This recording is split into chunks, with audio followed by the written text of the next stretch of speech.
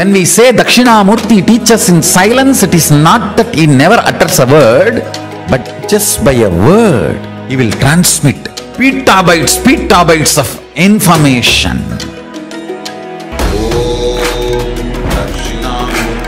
He sat as Dakshinamurti in his formless space.